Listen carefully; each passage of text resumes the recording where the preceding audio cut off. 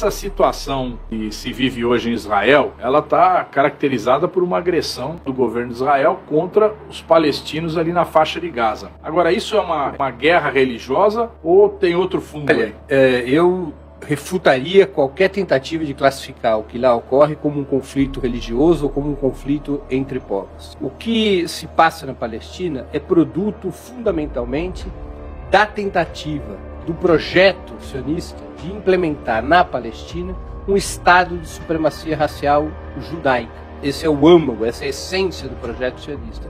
Antes da ascensão do regime sionista, antes do movimento sionista começar o processo de colonização da Palestina, não havia qualquer conflito religioso relevante entre judeus e muçulmanos. Ao contrário, os muçulmanos ampararam os judeus no auge da perseguição, no auge do antissemitismo, que é um fenômeno europeu. O antissemitismo é fundamentalmente um fenômeno europeu que se arrastou por séculos, e do ponto de vista religioso, a arma religiosa fundamental do antissemitismo era o cristianismo.